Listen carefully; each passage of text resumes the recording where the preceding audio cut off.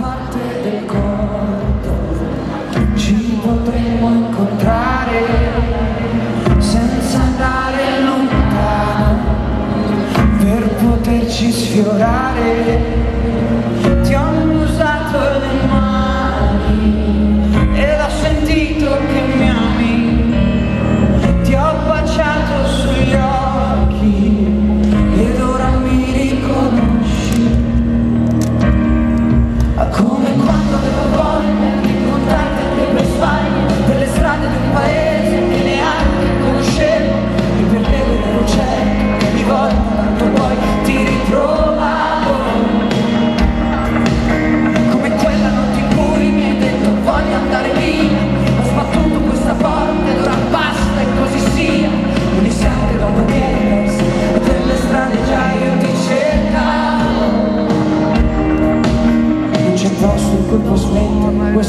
nostro folle amore.